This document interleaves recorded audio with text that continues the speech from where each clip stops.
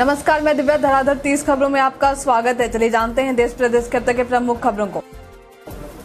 बिहार के शिक्षा मंत्री चंद्रशेखर एक बार फिर चर्चा में है। कुछ दिनों पहले रामचरित मानस को लेकर तरह तरह के बयान देकर वो सुर्खियों में थे और इस बार सीएम नीतीश कुमार को पैर छूकर आशीर्वाद लेने की बात चर्चा में है। इस पर शिक्षा मंत्री चंद्रशेखर ने अपना जवाब भी दिया। उन्होंने अपने जवाब में कहा है कि कुशल नेतृत्व करता बिहार विश्वकर्मा, माननीय मुख्यमंत्री नीतीश कुमार, उनसे उम्र में बड़े हैं, इसलिए उनका पैर छूकर उन्होंने आशीर्वाद लिया।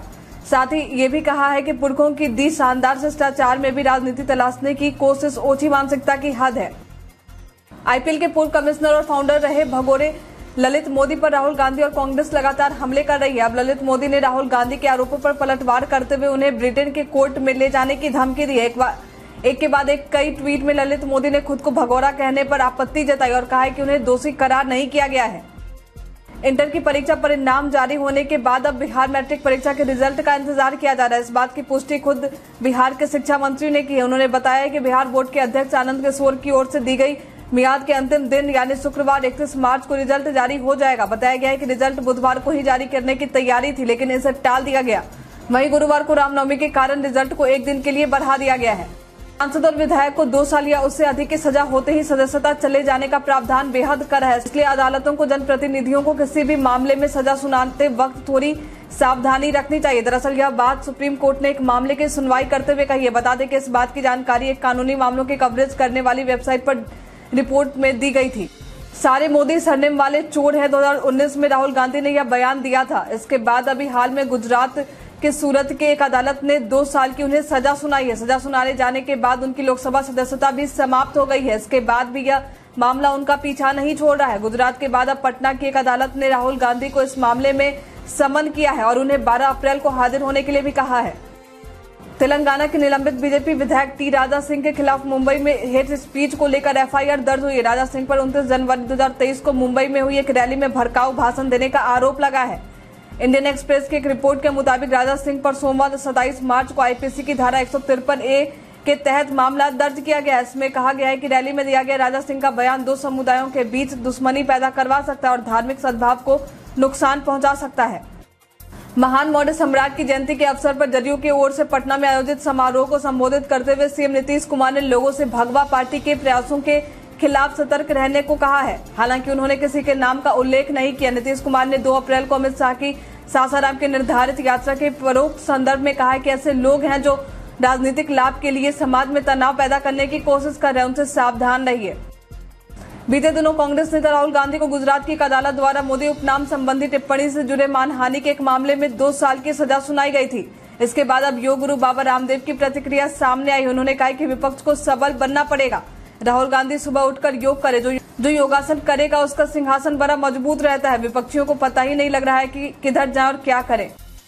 आर्थिक तंगी के कारण इंजीनियरिंग अथवा मेडिकल की तैयारी के लिए कोटा और दिल्ली जैसे शहरों में नहीं जा पाने वाले पिछड़े और अति पिछड़े वर्ग की छात्राएँ पटना में ही तैयारी कर पाएँगे। इसकी तैयारी भी कोटा, दिल्ली की तरह ही करवाई जाएगी। पिछड़ा, अति पिछड़ा वर्ग कल्याण विभाग के पदाधिकारी का कहना है कि इसके लिए विभाग की मंत्री अनिता देवी ने स्वीकृति भी दे दी इस योजना के तहत अप्रैल से पढ़ाई शुरू करवाने की योजना। इसके लिए छात्राओं को सिलेक्शन सुपर थर्टी की तर्ज पर टेस्ट कराया जाएगा।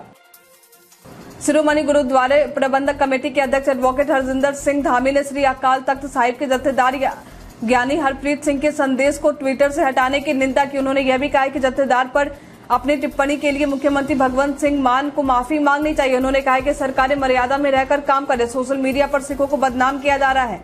केंद्र और राज्य सरकार मिलकर खेले जा रहे हैं। इस खेल को तुरंत बंद करना चाहिए। सहारा के निवेशकों को लेकर अब तक शांत रही केंद्र सरकार। फ्रंट पर आ गई। गृह मंत्रालय ने सुप्रीम कोर्ट के फैसले को ऐतिहासिक करार देते हुए कहा है कि इससे सहारा समूह की चार सहकारी समितियों के हज़ारों निवेशकों को पैसा वापस मिल पाएगा। दरअसल मंत्रालय की तरफ़ से जारी विज्ञप्ति में कहा गया है कि सहकारिता मंत्रालय की याचिका पर सुप्रीम कोर्ट ने सहारा से भी रिफंड अकाउंट में से चार समितियों को दस करोड़ रुपए लौटाने का आदेश दिया है।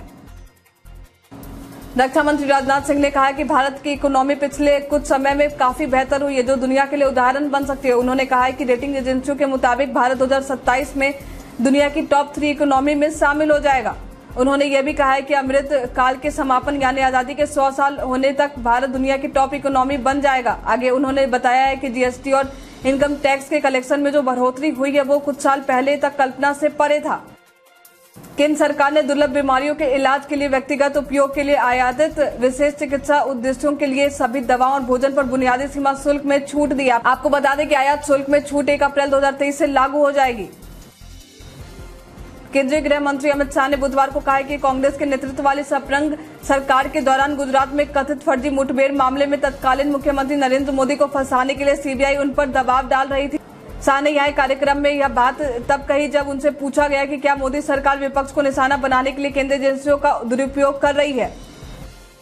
फ़िल्म आदि पुरुष एक बार फिर विवादों में है। फ़िल्म के टीजर को लेकर मुजफ्फरपुर में शिकायत दर्ज कराई गई थी। जिसके बाद जिला उपभोक्ता आयोग ने सैफ अली खान, प्रभास कृति सेनन फ़िल्म के निर्माता, निर्देशक और निर्माता कंपनी टी सीरीज़ के खिलाफ नोटिस जारी किया है। पूरे मामले के पैरवी मानवाधिकार अधिवक्ता एस के झा कर रहे हैं। अधिवक्ता एस के झा ने बताया कि फ़िल्म आदि पुरुष का जो टीजर जारी किया गया था, उसमें वाल्मीकि रामायण के मूल का गलत चित्रण किया गया है। साथ ही भगवान राम, हनुमान और माँ सीता को गलत तरीके से चित्रित करने का आरोप है। राष्ट्रीय सुरक्षा सलाहकार अजीत डोभाल इन दिनों विदेश दौरे पर गए हुए इस दौरान। इस दौरान वह राष्ट्रीय सुरक्षा के लिए अहम देशों से सामरिक रूप से बातचीत कर ऐसे क्रम में वह आज यूके के साथ सामरिक महत्व की बैठक में हिस्सा लेंगे। मीडिया में चली खबरों के मुताबिक सूत्रों के अनुसार ऐसा माना जा रहा है कि इसी बैठक में डोभाल अपने समकक्ष से 19 मार्च को भारतीय उच्चायोग पर हमले का मामला उठा सकते हैं। इसरो ने अपने अर्थ ऑब्जर्वेशन सैटेलाइट की मदद से पृथ्वी की तस्वीर को कैप्चर किया इसरो के सैटेलाइट को ओशन सेट थ्री के नाम से भी जाना जाता है। सैटेलाइट की ओर से उपलब्ध कराए गए डेटा के ज़रिए हैदराबाद स्थित इसरो के नेशनल रिमोट सेंसिंग सेंटर ने मोजैक तैयार किया है।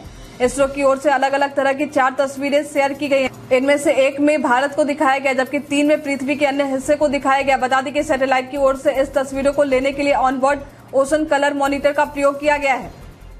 देश में एक बार फिर से कोरोना वायरस के नए मामलों में बढ़ोतरी होने लगे। केंद्रीय स्वास्थ्य मंत्रालय की ओर से आज सुबह जारी नए आंकड़ों के मुताबिक पिछले 24 घंटे में देश में 3000 से अधिक कोरोना के केस दर्ज किए गए हैं। पिछले छह महीने के बाद एक दिन में इतने अधिक कोरोना के मामले सामने आए इस दौरान कोरोना से संक्रमित छह मरीजों की मौत भी हो गई है, जिसमें तीन मरीज़ महाराष्ट्र से थे। भारत के प्रधानमंत्री नरेंद्र मोदी ने बुधवार को भारत को लोकतंत्र की जननी बताते हुए कहा है कि कई वैश्विक चुनौतियों के बावजूद देश सबसे तेज़ी से बढ़ती प्रमुख अर्थव्यवस्था बन गया है। प्रधानमंत्री नरेंद्र मोदी लोकतंत्र शिखर सम्मेलन में बोल रहे थे और इस दौरान पीएम मोदी संयुक्त राज्य अमेरिका के राष्ट्रपति जो बाइडेन के साथ डेमोक्रेसी शिखर सम्मेलन की सह मेजबानी कर रहे थे। शिखर सम्मेलन में बोलते हुए प्रधानमंत्री नरेंद्र मोदी ने कहा है कि अर्थव्यवस्था पर भारत का बढ़ता प्रभाव इस बात का प्रमाण है कि लोकतंत्र काम कर सकता है। शेयर बाज़ार से मुनाफा कमाने के लिए आम लोग मार्केट में निवेश करते हैं, लेकिन देश में नीतियों को बनाने वाले और क्रियान्वित करने वाले अधिकारी भी क्या अपना पैसा शेयर बाज़ार में लगाकर मुनाफा कूट रहे हैं? केंद्र सरकार ने अब इसी की पड़ताल शुरू कर दी है। केंद्र सरकार ने अखिल भारतीय सेवा के अधिकारियों से कहा है कि यदि शेयर बाज़ार शेयर अन्य निवेश में उनका कुल लेन देन कैलेंडर वर्ष के दौरान उनके छह महीने के मूल वेतन से अधिक होता है तो वे इसकी जानकारी मुहैया करवाएँ। हर महीने की पहली तारीख को कई बड़े बदलाव देखने को मिलते हैं। जिनमें से कई आपके फाइनेंशियल हेल्थ को प्रभावित करने वाले साबित होते हैं। दो दिन बाद अप्रैल का महीना शुरू हो रहा है और इसके साथ ही शुरुआत होने जा रही है नए वित्तीय वर्ष 2023-24 के। ऐसे में बदलावों की लिस्ट थोड़ी लंबी होने जा रही है। एक अप्रैल 2023 से गैस सिलेंडर के दाम में बदलाव देखने को मिल सकता है। तो वहीं सोने की बिक्री को लेकर भी नया नया महीने शुरू होते ही लागू हो जाएगा। भोपाल आ रहे प्रधानमंत्री नरेंद्र मोदी के आगमन को लेकर भोपाल में पैरा मिलिट्री फोर्स ने मोर्चा संभाल लिया। हर गतिविधि पर बारीकी से नज़र रखी जा रही है। वही संदिग्ध नज़र आने पर तलाश भी ली जा रही है। बता दें कि प्रधानमंत्री नरेंद्र मोदी राजधानी भोपाल में आयोजित होने वाले सेना की महत्वपूर्ण बैठक में शामिल होने के लिए एक अप्रैल को राजधानी आ रहे हैं। प्रधानमंत्री नरेंद्र मोदी ने गुरुवार को कहा कि उन्होंने एनएक्सपी के सीईओ कर्ट सिवर से मुलाकात की और सेमीकंडक्टर से इनोवेशन को लेकर दुनिया में बदले परिदृश्य पर चर्चा भी की है। बता दें कि एनएक्सपी की ओर से कहा गया है कि हम अपने टेक सॉल्यूशन के माध्यम से इनोवेशन और सकारात्मक बदलाव लाने के लिए प्रतिबद्ध है। सोशल मीडिया पर एक तस्वीर तेज़ी से वायरल हो रही है जिसमें कांग्रेस सांसद सोनिया गांधी के पैर छूता हुआ एक सिख शख्स नज़र आ रहा है। इस तस्वीर को लेकर इंटरनेट यूज़र्स ये दावा कर रहे हैं कि सिख शख्स कोई और नहीं, बल्कि भारत के पूर्व प्रधानमंत्री मनमोहन सिंह है जो सोनिया गांधी के पैर छूते नज़र आ रहे हैं। वायरल तस्वीर को लेकर जब छानबीन शुरू हुई तो यह बात सामने आई कि यह तस्वीर झूठी है। भारत सरकार डिफेंस की ओर और मज़बूत करने के लिए कई तरह के प्लान बना रहा है। अब सरकार ने तीन बड़ी डील की है। रक्षा मंत्रालय ने तीन बड़ी डील पाँच हज़ार चार सौ करोड़ रुपए में की है। इससे भारत का डिफेंस और मज़बूत होगा। तीन हज़ार करोड़ रुपए की सबसे बड़ी डील भारतीय आर्मी के लिए न्यू स्पेस इंडिया लिमिटेड के साथ की जिसके तहत एडवांस कम्युनिकेशन सैटेलाइट तैयार किया जाएगा। इनकम टैक्स रिटर्न दाखिल करने की प्रक्रिया की शुरुआत जल्द ही होने वाली है। अगर किसी की कमाई टैक्सेबल इनकम से ज़्यादा है तो उन लोगों को इनकम टैक्स दाखिल करना होता है। वर्तमान में देश में इनकम टैक्स दाखिल दो रिजीम के हिसाब से किया जाता है। पुराना टैक्स रिजीम और नया टैक्स रिजीम अगर कोई शख्स नए टैक्स रिजीम के हिसाब से टैक्स दाखिल करता है तो उसे सात लाख रुपए तक की सालाना कमाई पर टैक्स में छूट मिल सकती है। हालाँकि नए टैक्स रिजीम में इन्वेस्टमेंट का लाभ नहीं उठाया जा सकता है। राहुल गांधी मामले में अमेरिका के बाद जर्मनी ने बुधवार को कहा कि मानहानि के एक मामले में सजा फिर लोकसभा में अयोग्य ठहराए जाने के बाद विपक्षी नेता राहुल गांधी के मामले में न्यायिक स्वतंत्रता और मौलिक लोकतांत्रिक सिद्धांतों के मानकों को लागू होना चाहिए। जर्मन विदेश मंत्रालय के एक प्रवक्ता ने कहा है कि हमारी जानकारी के अनुसार राहुल गांधी फैसले के खिलाफ अपील करने की स्थिति में इसके बाद ये साफ़ हो जाएगा कि क्या यह फैसला कायम रहेगा और क्या उनके शासनादेश के निलंबन का कोई आधार है।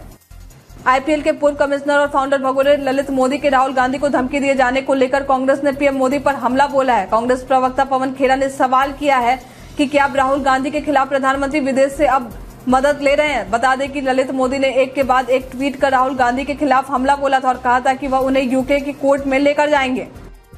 यूथ कांग्रेस के अध्यक्ष बीवी श्रीनिवास ने बीजेपी आईटी सेल के चीफ अमित मालवीय को मानहानि नोटिस भेजा। मालवीय ने श्रीनिवास के बयान का पुराना वीडियो क्लिप शेयर कर उन पर केंद्रीय मंत्री स्मृति ईरानी को लेकर अपमानजनक बयानबाजी करने का आरोप लगाया था। पड़ोसी देश पाकिस्तान सरकार का ट्विटर अकाउंट अब भारत में लोग नहीं देख पाएँगे। पाकिस्तान सरकार के ट्विटर अकाउंट को भारत में ब्लॉक कर दिया गया। गुरुवार को सोशल मीडिया प्लेटफॉर्म पर एक नोटिस के मुताबिक ट्विटर ने कानूनी मांग के जवाब में पाकिस्तान सरकार के अकाउंट को भारत में ब्लॉक किया है। बता दें कि पाकिस्तान सरकार का Twitter handle at the rate government of Pakistan नाम से है।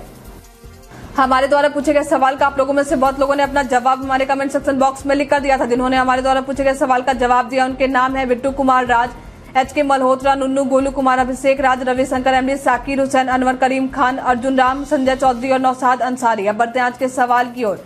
आज का सवाल है आपका पसंदीदा खेल कौन सा आप अपना, आप अपना जवाब हमारे कमेंट सेक्शन बॉक्स में लिखकर ज़रूर बताए। आज के लिए इतना ही धन्यवाद।